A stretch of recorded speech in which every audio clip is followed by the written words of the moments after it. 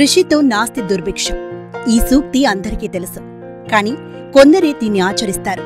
జీవితంలో పైకి ఎదుగుతారు పట్టుదలతో తామెన్నుకున్న వృత్తిపై పట్టు సాధిస్తారు. చాలా మందికి ఓ మార్గదర్శి అవుతారు. ఓ లెజెండ్ అవుతారు. తెలుగు రాష్ట్రాల్లో అత్యంత ప్రతిష్టాత్మకమైన నూట ముప్పై వెంచలను పూర్తి చేసి ఇప్పుడు మన రాష్ట్రాల్లో టాప్ ఐదులో ఒకరిగా ఎదిగారు లెజెండ్ కన్స్ట్రక్షన్ అధినేత నాగేశ్వరరావు గారు.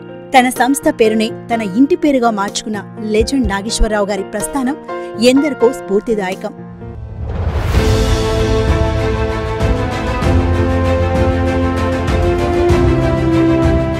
నాగేశ్వరరావు గారు మహబూబ్ నగర్ వాస్తవ్యుడు ఓ మధ్యతరగతి కుటుంబం. ఆయన తండ్రి ఆర్టీసీలో ఓ చిన్న ఉద్యోగి. ఆయన చదివింది ఓ ప్రభుత్వ పాఠశాలలో అయినా ఎంతో మంచి విద్యార్థిగా ఉపాధ్యాయుల మన్ననలు పొందారు. దృఢమైన సంకల్పం ఉంటే పేదరికం అడ్డురాదని రుజువు చేశారు నాగేశ్వరరావు గారు. I'm B Nageswara Rao. మా స్వస్థలము మహబూబ్ నగర్. నా స్టడీస్ మొత్తం మహబూబ్ నగర్లో జరిగాయి. అప్ టు ఇంటర్మీడియట్ వరకు నేను మహబూబ్ నగర్లో చదివాను.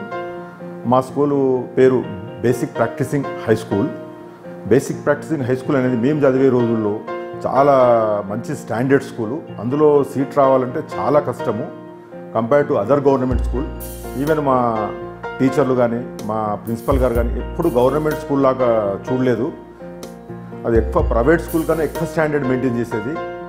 తర్వాత మా స్కూల్ నుంచే ఎప్పుడు టోటల్ డిస్టిక్లో టెన్త్ టోటల్ జిల్లాకు ప్రథమ స్థానం మా స్కూల్ నుంచే వచ్చేవి. అందరికన్నా హయ్యెస్ట్ మార్క్స్ మా స్కూల్ వారికే వచ్చే వచ్చేవి. నేను మాత్రం స్టడీలో అబో యావరేజ్ కన్నా ఎక్కువనే ఉన్నాను. ఎప్పుడు సెకండ్ ఆర్ థర్డ్ పొజిషన్లో వచ్చేవాడిని మా అప్పటి ఉపాధ్యాయులు చాలా బాగా చెప్పేవారు. మా మ్యాథ్స్ స్పెషల్లీ మా మ్యాథ్స్ గురువు గారు అయితే మాకు మ్యాథ్స్ చాలా చక్కగా అభ్యసించారు. అదే మ్యాథ్స్ స్ట్రాంగ్ ఫౌండేషన్తోనూ నాకు ఇంజనీర్లు ఎక్క ఎలాంటి ఇబ్బంది కాలేదు. చాలా కాన్వెంట్ స్కూల్ నుంచి వచ్చారు మా ఇంజనీరింగ్లో. పెద్ద పెద్ద స్కూల్ చదివారు కానీ మాతో మ్యాథ్స్లో పోటీ పడేవారు కాదు. మా దానికి అంతటి కారణం మా సూర్యనారాయణ గారు మాకు మ్యాథ్స్ మా మ్యాథ్స్ చాలా చక్కగా బోధించారు మాకు. నేను అప్పుడు ఇంజనీరింగ్ చేసినప్పుడు నాకు తెలిసింది మా స్కూల్ స్టాండర్డ్ అనేది. చిన్న చిన్న ప్రాబ్లమ్స్ కూడా పెద్ద స్కూల్లో ఇంగ్లీష్ ఇమీడియట్ కాన్వెంట్ స్కూల్లో ప్రైవేట్ స్కూల్లో చదివిన వాళ్ళు కూడా సాల్వ్ చేసేవారు కాదు. ఈవెన్ మేము ఒక గవర్నమెంట్ స్కూల్లో చదివి నా దానికి మాకు చాలా ఇంజనీరింగ్లో అర్థమయ్యేది. కాబట్టి మా సార్కు మెనీ మెనీ థ్యాంక్స్. ఈరోజు కూడా అతనికి నేను కలుస్తుంటాను మాట్లాడుతుంటాను. నా పేరు సిహెచ్ చంద్రమోహన్ గౌడ్. మేము మరి అట్లే లెజెండు మా నాగేశ్వరరావు గారు అండ్ లెజెండు రాజశేఖర రెడ్డి గారు అలాగే విద్యాసాగర్ గారు మరియు నా తోటి మిత్రుడు మన విజయ్ కుమార్ గారు. అంతా నైన్టీన్ ఎయిటీ త్రీ బ్యాచ్ ఇక్కడ మేము చదువుకున్నాము మహబూబ్నగర్. అదే ఇది మహబూబ్నగర్లోనే ఒక పెద్ద టాపెస్ట్ స్కూల్.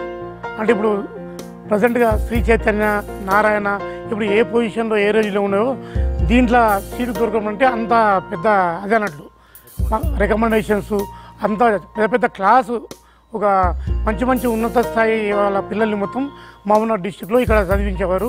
ఇంకోటి మా క్లాస్మేట్లు మొత్తం ఉన్న విద్యార్థులు మొత్తం మంచి స్టేజ్లో మన ప్రపంచం మొత్తం నలుమూలల. అంటే ఎక్కడ అమెరికా లేకుంటే రష్యా లేకుంటే అదర్ కంట్రీస్లలో కూడా మంచిగా సెటిల్ అయిపోయారు అలాగే మా మిత్రుడు మన నగేష్ గారు మంచి లెజెండ్ అనే కంపెనీని మూమెంట్ చేసి రాజశేఖర్ బెక్కరి రాజశేఖర రెడ్డి గారు తను మొత్తం మంచిగా చేసి ఇంకోటి అవుట్ ఆఫ్ కంట్రీలోనే కాకుండా అవుట్ ఆఫ్ స్టేట్స్ వల్ల చెన్నై మనం హైదరాబాద్లో ఇప్పుడు మొత్తం ఉభయ రాష్ట్రాల్లో టాప్ వన్గా నిలిచిండు. నా పేరు T Vidyasagar director Bhavitha junior college Mahabubnagar. Nageswara Rao మా చైల్డ్హుడ్ క్లాస్మేట్ తర్వాత ఇంటర్మీడియట్ వరకు మాతో ఇక్కడ కలిసి చదివాడు. ఇంజనీరింగ్ అతను బెంగళూరు గౌసియా కాలేజ్ ఆఫ్ ఇంజనీరింగ్లో ఇంజనీరింగ్ బీఈ సివిల్ కంప్లీట్ చేశాడు. దాదాపు మాకందరికి ఇప్పుడు fifty two years fifty two ఇయర్స్లో ఆల్మోస్ట్ ఫార్టీ సెవెన్ ఇయర్స్ నుంచి మేమంతా క్లాస్మేట్స్ము ఇక నాగేశ్వరరావు విషయానికి వస్తే మాకున్న అందరి బెస్ట్ ఫ్రెండ్స్లో Nageswara Rao one of the best friends తర్వాత అలాగే చైల్డ్హుడ్ ఫ్రెండ్ క్లాస్మేట్ ఇక అన్నిటి మించి అతను చిన్నప్పటి నుంచి కూడా high school level school level నుంచి కూడా స్పోర్ట్ చదువుతో పాటు స్పోర్ట్స్లో ఎక్కువగా ఇంట్రెస్టెడ్గా పార్టిసిపేట్ అయ్యేవాడు. ఆల్మోస్ట్ అన్ని గేమ్స్ వాడు ఆడని గేమ్ అంటూ లేదు. అన్నిటిలో అట్లా ప్రతి దాంట్లో కూడా తన స్పెషాలిటీని ప్రదర్శించేవాడు. మేమందర అంతగా స్పోర్ట్స్లో ఇన్వాల్వ్ కాకుండా స్పోర్ట్స్ అండ్ ఎన్సీసీ ఇట్లాంటి అన్ని యాక్టివిటీస్లో నాగేశ్వరరావు పార్టిసిపేట్ అయ్యేవాడు. అదేవిధంగా చిన్నప్పటి నుంచి హార్డ్ వర్క్తో చదువుల్లో కూడా క్లాస్ రూమ్లో కూడా టాప్ పొజిషన్లో ఉండేవాడు. అదేవిధంగా అదే స్పిరిట్తో ఇంజనీరింగ్ పూర్తి చేసి సొంతంగా హైదరాబాద్లో ఒక దాంట్లో వర్క్ చేస్తూ ఒక ఎక్స్పీరియన్స్తో సొంతంగా కన్స్ట్రక్షన్ స్టార్ట్ చేసి రియల్ ఎస్టేట్లో అంచెలంచెలుగా ఎదుగుతూ సిటీలో టాప్ టెన్ బిల్డర్స్లో ఒక బిజినెస్ టైకూన్గా మారాడు. Along with one of the my friend with Rajasekhar Reddy also so both are legends and ఇప్పుడు లెజెండ్ ఎస్టేట్స్ ప్రైవేట్ లిమిటెడ్ ఎండీగా నాగేశ్వరరావు ఒకరే ఉన్నారు ఇప్పుడు. ఇక లెజెండ్ కన్స్ట్రక్షన్స్ సిటీలో అంటే సరే రియల్ ఎస్టేట్ హైదరాబాద్ సిటీలో ఇక్కడ ఒక రూరల్ బ్యాక్గ్రౌండ్ నుంచి వచ్చి మామూలుగా మహబూబ్నగర్ జిల్లా అంటే వెనుకబడింది అంటుంటారు. అట్లాంటి బ్యాక్గ్రౌండ్ నుంచి వచ్చి సిటీలో ఉన్న టాప్ టెన్ బిల్డర్స్లో వన్ ఆఫ్ ది ప్లేస్ సంపాదించిన వ్యక్తి నాగేశ్వరరావు అని చెప్పడానికి మేమందరం గర్వపడుతున్నాం. హాయ్ హాయ్ టు ఆల్ అండి నాగేశ్వరరావు నా చిన్నప్పటి స్నేహితుడండి టెన్త్ క్లాస్ దాకా మేమంతా కలిసి చదువుకున్నాము. అతను చదువులోనే కాదు ఆటపాటల్లో ప్రతి దాంట్లోనూ ముందుండేవాడు. చాలా కష్టజీవి కూడా బాగా కష్టపడేవాడు. అలాంటి అతను తను బిఈ చేశాక హైదరాబాద్ వచ్చి సెటిల్ అయ్యి రియల్ ఎస్టేట్లో ఇంత పైకి ఎదిగినందుకు మేమందరం చాలా హ్యాపీగా ఫీల్ అవుతున్నాము. Best of luck Nageswara Rao. Nageswara Rao garu మా చిన్ననాటి స్నేహితుడు. ఎదిగిన కొద్దీ ఒదిగి ఉండడం అంటే ఆయన దగ్గరనే నేర్చుకోవాలి. ఇప్పటివరకు ప్రతి ఒక్కరిని గుర్తుపెట్టుకొని పేరు పేరున తోటి స్నేహితులు చిన్ననాటి స్నేహితులను గుర్తుపెట్టుకొని అందరినీ హోల్ హార్టెడ్గా పిలిచిన వ్యక్తి ఆయన పిలిచే వ్యక్తి. ముఖ్యంగా నేను చెప్పడం ఏంటంటే ఆయన గురించి ఇంత ఉద్వేగానికి ఉద్విగ్నతకు గురి కావడానికి ముఖ్య కారణం నేను హాస్పిటల్లో ఉన్నప్పుడు నాకు ఎంతో సహాయం చేసిన మహోన్నతమైన మనసు గల వ్యక్తి నాగేశ్వరరావు గారు. ఆయన ఎంత ఎదిగినా కూడా ఈనాటికి మనందరినీ గుర్తుపెట్టుకొని ఫోన్ చేయగానే రెస్పాన్స్ ఇవ్వటం అనేది ఎంత గొప్ప విషయం అంటే ఆ టైంలో ఆయనకు వీలు కాకపోతే తర్వాత అయినా ఫోన్ చేసేవాడు. చేసి చెప్పు అని చెప్పి మాట్లాడేవాడు. అది మాకు అంతా గర్వించదగ్గ విషయం. ఆయన స్నేహితుడిగా మేము ఉన్నందుకు ఎంతో గర్వపడుతున్నాం.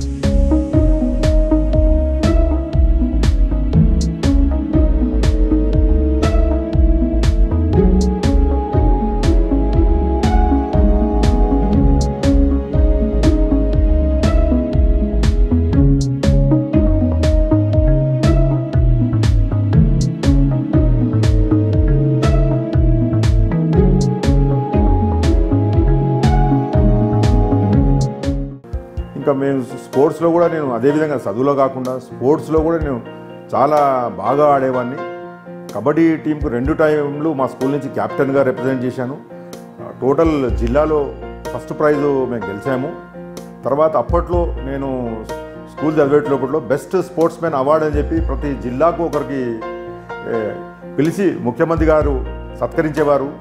మా సంవత్సరం నైన్టీన్ ఎయిటీ త్రీలో ఉత్తమ స్పోర్ట్స్ అభ్యర్థిగా నన్ను సెలెక్ట్ చేశారు. నాకు ముఖ్యమంత్రి కె విజయభాస్కర్ రెడ్డి గారు నాకు గోల్డ్ మెడల్ ప్లస్ సత్కరించారు ఎల్బీ స్టేడియంలో. దానికి చాలా సంతోషం అనిపించింది నాకు అప్పట్లో. అందరికీ నమస్కారం. నేను రవిప్రకాష్. లెజెండ్ నాగేశ్వరరావు గారు నాకు గత ఆరు సంవత్సరాలుగా పరిచయం. ఇక్కడ టెన్నిస్ కోర్ట్కి వచ్చినప్పుడు ఫస్ట్ టైం నేను కొత్త కొత్తగా వచ్చాను. అందరినీ ఒక్కొక్కరిని పరిచయం చేసుకున్నప్పుడు ఇలా నాగేశ్వరరావు గారు లెజెండ్ గ్రూప్కి అధినేత అని చెప్పి పరిచయం చేశారు.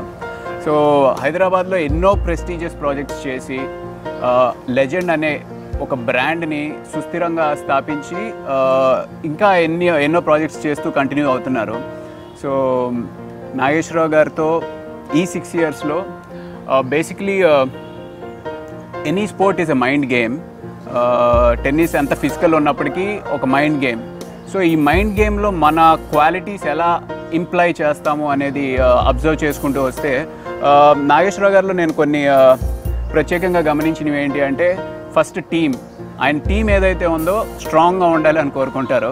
సో వచ్చిన వెంటనే మంచి ప్లేయర్ ఎవరైతే ఉంటారో ఆయన్ని పార్ట్నర్ కింద పెట్టుకుంటారు అనమాట సో ఇది బిజినెస్లో కూడా it employs so first what is your team అనేది చాలా ఇంపార్టెంట్. సో ఆ రకంగా టీమ్ని సెట్ చేసుకున్న తర్వాత దెన్ కమ్స్ పాజిటివిటీ పాజిటివిటీకి వచ్చేటప్పటికి ఎంత తక్కువ స్కోర్లో ఉన్నప్పటికీ ఏ రోజు పక్క పార్ట్నర్ని అరవడం కానీ లేకపోతే ఓడిపోతున్నాం అనే ఒక భయం కానీ లేకపోతే ఆ ఫ్రస్ట్రేషన్ అంటారు కదా ఓడిపోతున్నప్పుడు అలాంటి ఫ్రస్ట్రేషన్ కానీ ఆయన్ని ఈ ఏడు సం ఆరేడు సంవత్సరాలు ఒకసారి కూడా చూడలేదు. ఇంత పెద్ద పొజిషన్కి కూడా ఆయన హీ కేమ్ ఫ్రమ్ స్క్రాచ్ అని. అంటే మా ఇండస్ట్రీలో ఎక్కువ వినపడుతూ ఉంటుంది. ఏంటి సార్ మీకు బ్యాక్గ్రౌండ్ లేకపోవడం వల్ల మీరు సక్సెస్ అవ్వలేదా? ఇంకా మీకు ఇంకా ఇది లేకపోతే ఇది ఇలాంటిది ఎక్కువ వినిపిస్తూ ఉంటుంది. సో నాకు అర్థమైంది నా కెరియర్ కాదు ఏ కెరియర్ అంటే ఏ ఇండస్ట్రీ అయినప్పటికీ బ్యాక్గ్రౌండ్ అనేది డజంట్ మ్యాటర్ నీలో ఎంత విషయం ఉంది నీకెంత పట్టుదల ఉంది నువ్వెంత సాధించగలవు అనే దాని మీదే నీ సక్సెస్ కానీ నీ జర్నీ కానీ ఆధారపడి ఉంటుంది అని చెప్పి ఎగ్జాంపుల్గా మనం నాగేశ్వర గారిని తీసుకోవచ్చు. నమస్కారం. నా పేరు సురేష్ ఆడిటర్ అండి. నాగేశ్వరరావు అన్న లాస్ట్ థర్టీ ఇయర్స్ నుంచి నాగేశ్వరరావు అన్న పేరు చాలాసార్లు కలవాలనుకున్నా కానీ ఇక్కడ ఫిలింనగర్ క్లబ్కి వచ్చినాక ఇక్కడే కలిసినాము. లెజెండ్ బ్రాండ్ మన సంస్థ ఒక మేనేజింగ్ డైరెక్టర్ అని తెలిసిన తర్వాత చాలా సంతోషపడ్డా. అదే కాకుండా బిజినెస్లో ఎంత సక్సెస్ అయిందో దానికి ఒక కృషి ఉంటే మనుషులు ఋషులు అవుతారు అనే దానికి కరెక్ట్ సూటబుల్ పర్సన్. ఒక రిమోట్ ఏరియా నుండి వచ్చి హైదరాబాద్లో సికింద్రాబాద్లో వైజాగ్లో తర్వాత బెంగళూరులో ఎన్నో మంచి మంచి పెద్ద పెద్ద ప్రాజెక్టులు చేసి సక్సెస్ఫుల్ అయిన క్యాండిడేట్ మన నాగేశ్వరరావు అన్న.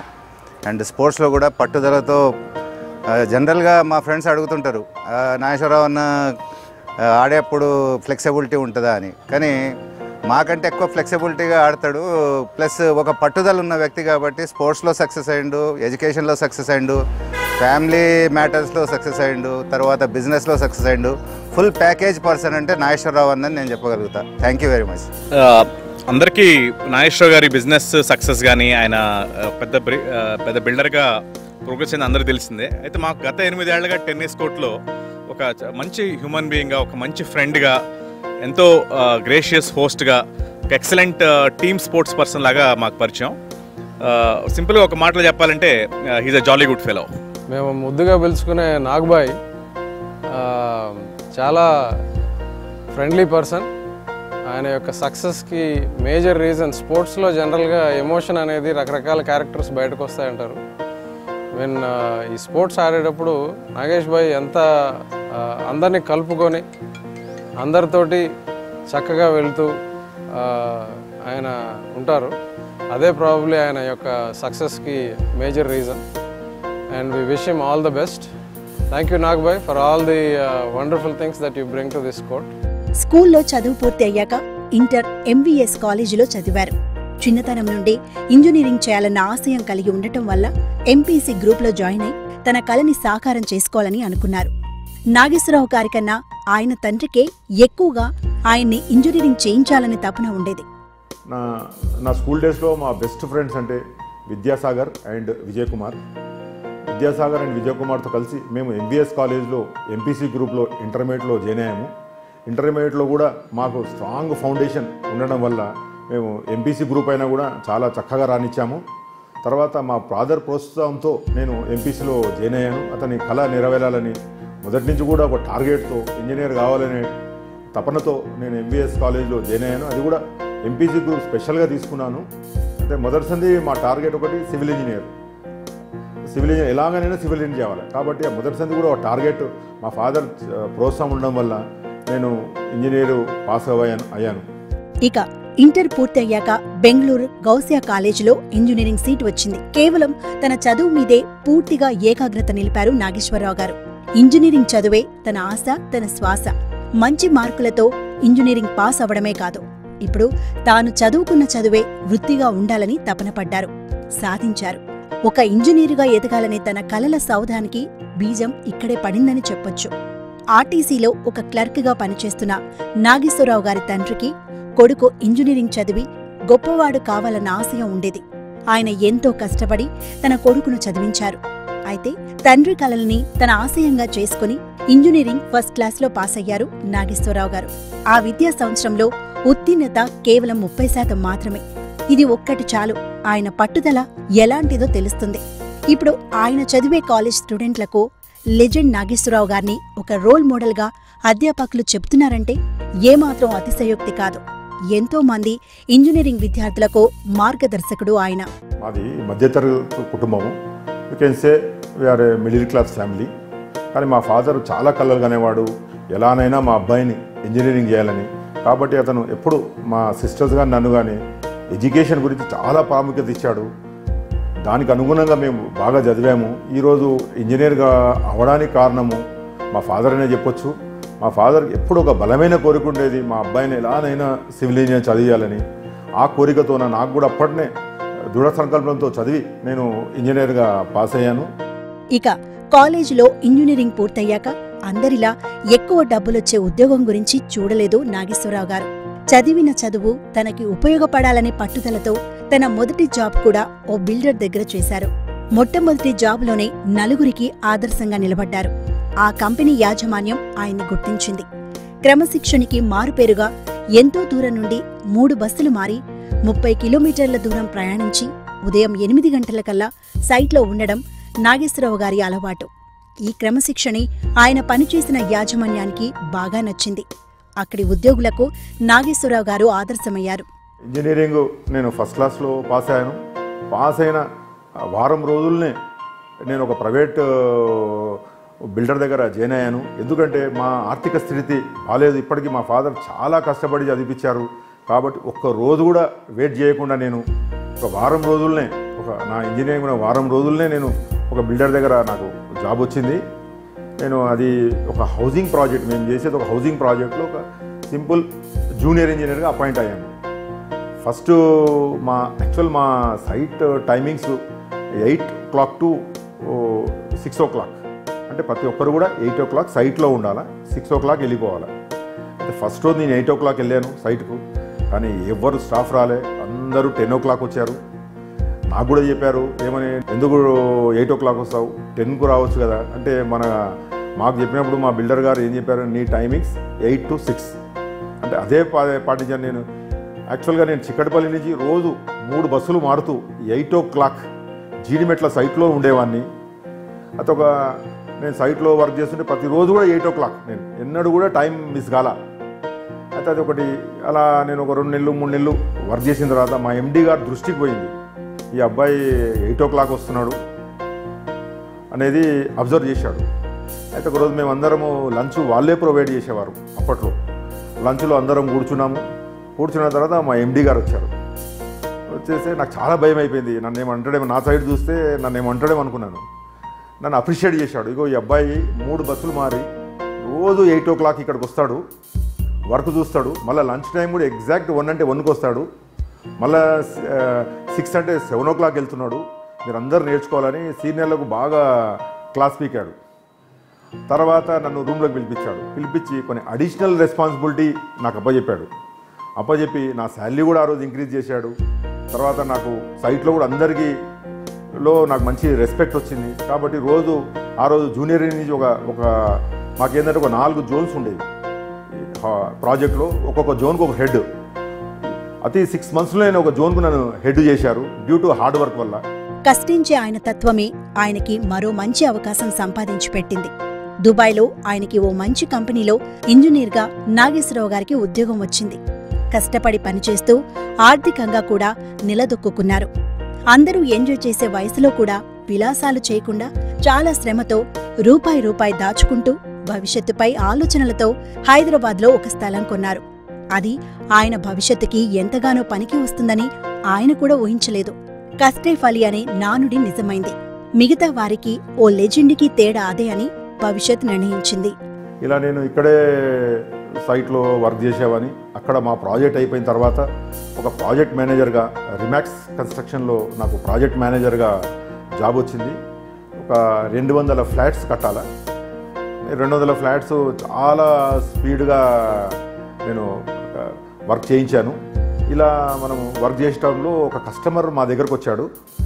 దగ్గరకు వచ్చేసి ఇప్పుడు దుబాయ్లో చాలా డిమాండ్ ఉంది సివిల్ ఇంజనీర్స్కు.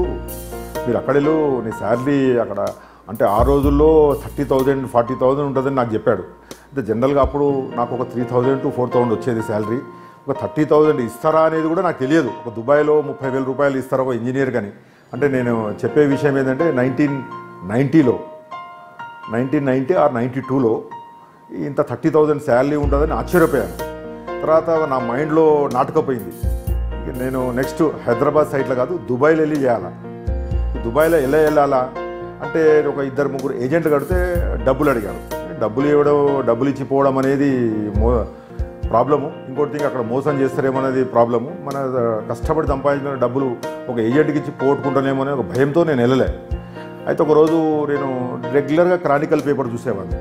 క్రానికల్ పేపర్ చూస్తుంటే ఒకరోజు ఏబీసీ కంటె కన్సల్టెంట్స్ అనేది వాళ్ళు చాలా ప్రిస్టేజియస్ ఫర్మ్ అపాయింట్మెంట్ ఫర్మ్ వాళ్ళు ఒక అడ్వర్టైజ్మెంట్ చేశారు. ఏమని సివిల్ ఇంజనీర్స్ కావాలా? అబుదాబీ ప్రాజెక్ట్ కోసం. అయితే నేను చదివాను. అయితే అది all over India level interviews Hyderabad ఒక రోజు బెంగళూరు ఒక రోజు మద్రాస్ ఒక రోజు. Because their intention is all స్టేట్లో ఇంటర్వ్యూ చేసి ఒక బెస్ట్ త్రీ ఫోర్ క్యాండిడేట్స్ను అబుదాబికి తీసుకెళ్ళాలని. అయితే నేను హైదరాబాద్లో నేను ఇంటర్వ్యూకి వెళ్ళాను. ఇంటర్వ్యూకి వెళ్ళిన తర్వాత ఇది almost all India level competition నాకు వస్తుందా అనుకున్నాను. కానీ ఇంటర్వ్యూలో నేను చాలా బాగా చేశాను. చేసినాక నాకు ఫైనల్ ఇది ఫైనల్ ఇంటర్వ్యూకు నాకు లెటర్ వచ్చింది. నేను ఆశ్చర్యపోయాను. ఇంతమందిలో ఒక నలుగురు ఒక ఇండియాలో ఒక ఐదు మందిని ఏబీసీ కన్సల్టెంట్ వాళ్ళు చేయడం అని. నేను డైరెక్ట్ బాంబే ఆఫీస్కి వెళ్ళాను. ఫస్ట్ టైం నేను బాంబే వెళ్ళడం. ఇంతవరకు బాంబే చూడలేదు. అప్పుడు ఆ ఇంటర్వ్యూ కోసం నేను బాంబే వెళ్ళాను. ఏబీసీ కన్సల్టెంట్లో అక్కడి మా కాంట్రాక్ట్స్ మేనేజర్ గారు ఇంటర్వ్యూ తీసుకున్నాడు. ఆల్మోస్ట్ ఆల్ ఫైనల్ ఇంట్లో ఒక టెన్ మెంబర్స్ ఉన్నారు. తెలిసే నాలుగు పోస్టులు. ఆ నాలుగు పోస్టులు ఫస్ట్ అందరికేమో మీకు తర్వాత చెప్తామన్నారు కానీ నేను వెళ్ళిన తర్వాత నాకు ఇంటర్వ్యూలో చెప్పేశారు యువర్ అపాయింటెడ్ నువ్వు రెడీ ఉండు. నీకు ఎనీ టైం వీసా వస్తుంది. నువ్వు అబుదాబి వెళ్ళి రావాలని. నేను బయటికి వచ్చి వేరే ఇంటర్వ్యూలతో చెప్పాను నీకేం చెప్పారంటే నాకు ఆల్రెడీ అపాయింట్ అని చెప్పారు మాకేం చెప్పలేదన్నారు. అంటే వాళ్ళంతా ఇంప్రెస్ అయిపోయారు ఆ ఇంటర్వ్యూలో. అపాయింట్మెంట్ వచ్చింది వీసా తీసుకొని నేను దుబాయ్ వెళ్ళాను. దుబాయ్ నుంచి మరి అబుదాబికి వెళ్ళాను. మా project Abu Dhabi. Dubai Abu Dhabi ఇదే hundred kilometre distance UAE capital Abu Dhabi. అబుదాబిలో దిగిన తర్వాత నేను చూశాను అక్కడ. బాగా మా వర్క్ నచ్చింది మా కంపెనీ కూడా నచ్చింది. బాగా కష్టపడి పనిచేసేవాడిని. పని చేసేటప్పుడే ఆ దుబాయ్లో మనం ఏ రోజైనా వెళ్ళి మళ్ళీ ఇండియాలో కంపెనీ పెట్టాలా? ఇంత దూరం వచ్చి మనం ఎందుకు వర్క్ చేయాలా? మనమే హైదరాబాద్లో ఒక కంపెనీ పెట్టి ఎందుకు ప్రారంభించకూడదు అనేది నాకు ఫస్ట్ మంతే నా మైండ్లో నాటుకుపోయింది. కాబట్టి తర్వాత చాలామంది నా ఫ్రెండ్స్ అప్పుడు అపాయింట్ అయిన వాళ్ళు కానీ కొత్తగా వచ్చే వాళ్ళంటే అప్పట్లో దుబాయ్ అనేది ఈరోజు హైదరాబాద్ దుబాయ్ మ్యాచ్ అవుతుంది. కానీ అప్పట్లో అసలు అన్మ్యాచబుల్ ఇండియాకు దుబాయ్కి దుబాయ్ చాలా good infrastructure very very shopping malls మంచి బ్యూటిఫుల్ బిల్డింగ్స్ ఉండేవి. చాలామంది వచ్చిన ఫోర్ ఫైవ్ మంత్స్ ఇక రకరకాలుగా ఖర్చులు పెట్టేసి వాళ్ళు బాగా లగ్జరీగా ఎంజాయ్ చేసేవారు. నేను ఫస్ట్ డేనే అనుకున్నాను ఇక్కడ మనం ఎక్కువ కాలం ఉండకూడదు. ఎలానైనా సరే మర కొంత డబ్బు సంపాదించుకొని ఇండియాకి వెళ్ళిపోయి నా ఓన్ బిజినెస్ స్టార్ట్ చేయాలనేది ఫస్ట్ నెలలో నేను నాటుకున్నాను మనసులో అనుకున్నాను. తర్వాత ప్రతి డబ్బు కూడా నేను అక్కడ మాకు కంపెనీకి ఒక మెస్ ఉండేది. అంటే మేమేం డబ్బులు బయట పోయి తినడం అవసరం లేదు. మా మా ఇంజనీర్స్ కోసం ఒక మెస్ ఉండేది ఆ మెస్సులే తినేవాడిని. తింటూ నేను డబ్బులన్నీ ఆదా చేసి ఇక్కడ మా ఫాదర్కు ఎవ్రీ మంత్ పంపించేవాడిని. పంపిస్తే పంపిస్తే ఒకరోజు మా ఫాదరు ఫోన్ చేసి అరే ఎలా వెళ్ళావు కదా ఒక ఇల్లు కట్టుకుందాం మనం. అనేది అతని ప్లాన్ చెప్పాడు. నేను కూడా సరే నాన్న నేను డబ్బులు పంపిస్తాను ప్లాట్ కొను తర్వాత ఇల్లు కడదాం అనుకున్నాను. ప్లాట్ ఏం చేశానంటే ఎల్బీ నగర్లో తక్కువ రేట్ వస్తుంటే నేను ప్లాటు కొన్నాను. అప్పట్లో చాలామంది ఒక సెవెన్ మంత్స్ తర్వాత మా ఫ్రెండ్స్తో డిస్కస్ చేశారు. నీ డబ్బు ఏం చేసావు నీవేం చేసావు అతనే అతనేం చెప్పాడు? ఒకతనేమో నేను ఒక పెద్ద టేబుల్ రికార్డర్ కొన్నాను. ఒకతనేమో ఏదో షూజు అన్నీ రకరకాల వస్తువులు చూపించారు. నువ్వేం చేసావని నన్ను అడిగారు వాళ్ళు. బాబు నేను ఇక్కడ ఒక రూపాయి కూడా నేను ఇక్కడ ఖర్చు పెట్టలేదు. మెస్సులో తిన్నాను. వచ్చిన డబ్బు మా ఇంటికి పంపించాను. మా ఫాదరు ఒక మంచి ప్లాట్ కొన్నాడని చెప్పాను. చాలామంది ఆశ్చర్యపోయారు. అసలు ఏంటి ఒక రూపాయి కూడా నువ్వు ఖర్చు పెట్టలేదా అని. అంటే నేను మెస్లో తిన్నాను. ఏదో ఖర్చు పెట్టలేదంటే కొద్దిగా అవసరాల కోసం ట్రాన్స్పోర్టేషన్కి వాటికి తప్ప లగ్జరీ అనేది అసలు ఒక్కటి రూపాయి కూడా నేను ఖర్చు పెట్టలే. కాబట్టి నా మొదటిసారి నా సంకల్పం any have to become a builder ఆ రోజే అనుకున్నాను ఇంత డబ్బులు ఖర్చు పెట్టి ఇంత దూరం వచ్చేసి మనమే ఒక సంస్థను ఎందుకు స్థాపించకూడదు? కష్టపడితే అలాంటప్పుడు నేను వాటిని మొదటి నుంచి కూడా దాన్ని చక్కగా ఒక ఉన్న వన్ ఇయర్ కూడా చాలా ఆదా చేశాను. దుబాయ్లో ఆల్రెడీ వన్ ఇయర్ అయిపోయింది. ఇక నాకు కూడా అప్పుడు ఫ్యామిలీ వీసా ఇస్తున్నారు నా కంపెనీ అని ఫ్యామిలీని తీసుకొచ్చి ఇక్కడ పెట్టి మళ్ళీ మనం ఆదా చేయడం కష్టము. ఎందుకు? మనమే ఒక సంస్థ ఎందుకు స్థాపించకూడదు? అని అనుకున్నాను. అనుకున్న తర్వాత మా ప్రాజెక్ట్ మేనేజర్ నేను రిజగ్నేషన్ లెటర్ ఇచ్చారు. అతను ఆశ్చర్యపోయాడు. ఎందుకు రిజైన్ చేస్తున్నావు? ఇంత మంచి జాబు. లేదు నీకు ఫ్యామిలీ వీసా ఇస్తాను. లేదు ఇంకో సైట్లో స్టార్ట్ చేస్తాను లేదు సార్ నేను వెళ్ళి బిజినెస్ పెట్టాలన్నాడు. అంటే నువ్వు అంత ఫ్రాంక్గా చెప్తున్నావు? అని అడిగాడు. లేదు యాక్చువల్గా మేము దుబాయ్ నుంచి మళ్ళా తిరిగి రిజైన్ చేసి వెళ్ళాలంటే మా ఎండీ గారి పర్మిషన్ కావాలి. ఇంజనీర్స్ స్పెషల్లీ వేరే వర్కర్స్ కానీ ఏదైనా ఉంటే వాళ్ళు లో క్యాడర్ వాళ్ళు అప్రూవల్ చేస్తారు. ఎస్పెషల్లీ ఇంజనీర్స్ ఎందుకంటే వాళ్ళు ఇంటర్వ్యూ చేసి తీసుకొచ్చారు కాబట్టి వెళ్ళాలంటే మా ఎండి గారికి తోన అతను అప్రూవల్ కావాలి. అయితే ఎండి గారి అపాయింట్మెంట్ అతను చాలా పెద్ద బిల్డర్ సైఫ్ బిన్ దార్విష్ అని. అబుదాబిలో అతనికి ఒక ఇరవై ముప్పై ముప్పై స్టోరీల బిల్డింగ్ ఓనర్ అతను. మా ఎండి గారి పొజిషన్ అది. అయితే ఒక రోజు నాకు అపాయింట్మెంట్ ఇచ్చారు. నేను వెళ్ళాను. వెళ్ళిన తర్వాత చెప్పాను. ఎందుకు వెళ్ళాలి అంటే సార్ ఇట్లా నేను వెళ్ళి బిజినెస్ పెడతాను సార్. నేను ఎదగాలనుకున్నాను. అంటే అతను అన్నాడు నీ ఫ్రాంక్నెస్ నాకు నచ్చింది. ఎందుకంటే అందరు ఇక్కడ వచ్చేసి మా ఫాదర్కు హెల్త్ బాగాలేదు మా మదర్కి హెల్త్ బాగాలేదు నేను వెళ్ళిపోవాలా హాస్పిటల్ ఉన్నారు అన్ని అబద్ధాలు చెప్పారు. కాబట్టి వాళ్ళకి యాక్సెప్ట్ చేయకుండా నేను ఎప్పుడు ఏదో తిరిగి చెప్పి యాక్సెప్ట్ చేసావు రీజన్ నువ్వు ఫ్రాంక్ చెప్పావు యు ఆర్ డైనమిక్ పర్సన్ నేను ఎమ్మటే ఇస్తున్నాను. జనరల్గా రిజైన్ రిజైన్ చేసిన వాళ్ళకు రిటర్న్ టికెట్ అనేది కంపెనీ ప్రొవైడ్ చేయదు. అయినా కూడా అతను ఏమన్నాడంటే నా తరఫు నుంచి ఒక గిఫ్ట్ నీకు నువ్వు బిజినెస్ పెడుతున్నావు కాబట్టి నీకు ఒక రిటర్న్ టికెట్ ఇవ్వమని చెప్పి కింద క్లర్క్ చెప్పాడు ఇతను ఫ్రాంక్కి చెప్పాడు. ఎందుకు- ఎందుకంటే అంత చాలామంది వచ్చి జ మా అమ్మకు బాగాలేదు మా నాన్నకు బాగాలేదు మా తాత చనిపోయాడు అన్ని అబద్ధాలు చెప్తారు అని అతను నాటకపోయింది బలంగా. ప్రతి ఒక్కరు కూడా అదే ఆన్సర్ చేసేవారు కానీ నేను డిఫరెంట్గా చెప్పాను నేను బిజినెస్ పెడుతున్నాను సార్ నేను ఎదగాలనుకున్నాను సార్ అని. అదే అప్రిషియేటెడ్ నేను నాకు దుబాయ్ టికెట్ వచ్చింది మా ఫ్రెండ్స్ కూడా చాలా రోజు ఈవెన్ లాస్ట్ మినిట్ వరకు ఎయిర్పోర్ట్లో కూడా నన్ను బ్రెయిన్ వాష్ చేశారు. ఉండిపో ఉండిపో అని చెప్పి. నువ్వు టికెట్ క్యాన్సిల్ చేసుకొని. ఈవెన్ ఒక సెకండ్ కూడా నేను వెనక్కి వచ్చాను. ఎయిర్పోర్ట్కి ఎందుకంటే అప్పట్లో ఈ రోజు ముప్పై వేలు అనేది ప్రతి ఒక్కరికి వస్తుందండి. ఆ రోజులో ముప్పై వేల శాలరీ అనేది impossible especially for civil engineers మేము సివిల్ ఇంజనీర్ చేసే జాబ్లో అప్పుడు రెండు వేలు మూడు వేలు ఇచ్చేవారు ఇక్కడ ఇండియాలో. టూ థౌజండ్ త్రీ అది కూడా బెస్ట్ ఇంజనీర్స్కు. అది థర్టీ థౌజండ్ వదులుకొని ఒకసారి ఎయిర్పోర్ట్లో అబుదాబి ఎయిర్పోర్ట్లో కాల్ పెట్టి మళ్ళీ ఇంటికి వచ్చాను. ఇంటికి వచ్చి మా ఫ్రెండ్స్ మస్లేకర్ అని ఉండేవాడు. అతను చాలా బాంబే ఫ్రెండ్ చాలా క్లోజ్ అయ్యాము ఇద్దరం. ఎంత క్లోజ్ అయ్యామంటే అతను చాలా నువ్వు పొరపాటు చేస్తున్నావు నువ్వు వెళ్ళడం పొరపాటు చేస్తున్నావు అని అని నేను ఆలోచన చేశాను. మనం కష్టపడితే ఎక్కడైనా ఉండొచ్చు ఏముందని చెప్పి సో ఇంకా నాకు బ్రెయిన్ వాష్ చేయకు అని చెప్పి నేను ఫ్లైట్ ఎక్కాను. ఫ్లైట్ ఎక్కి ఇండియాలో దిగాను. దిగిన తర్వాత బిజినెస్ స్టార్ట్ చేయాలి. ఆల్రెడీ నేను పాత నాకు కనెక్షన్స్ ఇక్కడ జాబ్ చేసేలాను కాబట్టి మా బిల్డర్స్ను వాళ్ళనంతా చేశాను. చేసిన తర్వాత అప్పట్లో ఒక అమౌంట్ ఇంత ఇంత పెద్ద అమౌంట్ కాకుండా మంచి అమౌంటే అవసరం. అయితే ఆ ప్లాట్ అమ్ముదామని డిసైడ్ అయిపోయాను. అయితే ఇంట్లో కొద్దిగా నాకు నెగిటివ్ వచ్చింది. మరి అంత కష్టపడి వెళ్ళి నువ్వు ప్లాట్ అమ్ముతా అంటారు ఇల్లు కట్టుకుందామనే థింకింగ్ వాళ్ళకు ఉంది. అంటే వాళ్ళ థింకింగ్ వాళ్ళది కరెక్ట్ కానీ నేను ఆ రోజు ఏమనుకున్నానంటే నేను బిజినెస్ ఎదగాలంటే డబ్బు కావాలి.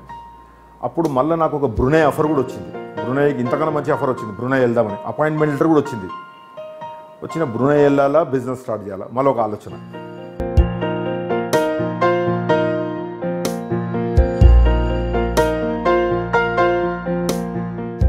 గుడ్ పర్సన్ ఇక్కడికి ఎవరైనా జాయిన్ అయితే ఎవరు వెళ్ళరు కూడా. నాగేశ్వర సార్